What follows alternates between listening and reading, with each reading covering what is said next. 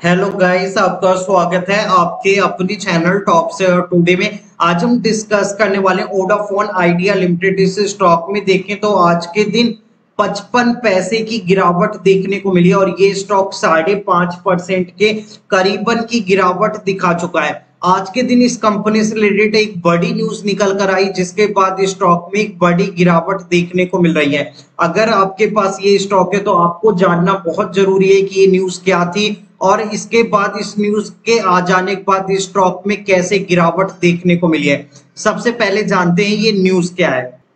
तो जैसा कि आप देखें कि ये न्यूज़ क्या थी? Vodafone Idea rubbishes claims to being acquire by the US company लोगों में एक फेक न्यूज़ निकल कर आ रही थी निवेशकों के बीच में कि एक यूएस की एक कंपनी है जो क्या कहते हैं ओडाफोन आइडिया को एक्वायर करना चाह रही है।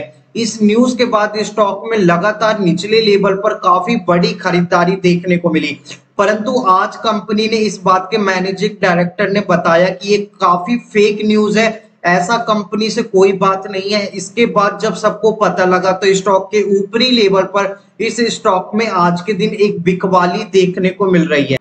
जैसा कि नीचे ये भी लिख के आ रही है कि Vodafone Idea the third largest telecom company in the country denied the claim of being acquired by the other organization company the telco has said the exchange feeling that new item making the rounds online incorrected on sunday and online was the publishing said the that order phone idea could be the acquired by the US company. The list of company monetization of article include the Starlink Verizon and Amazon ऐसी कुछ कंपनियों जो थी, वो Vodafone Idea phone को acquire करना चाह रही थी, जो कि ऐसा न्यूज़ निकल कर आई, पर ऐसी कोई न्यूज़ नहीं थी, जिसके बाद स्टॉक में ऊपरी लेवल पर स्टॉक में एक बड़ी मात्रा में सेलिंग प्रेशर देखने को मिल रहा है।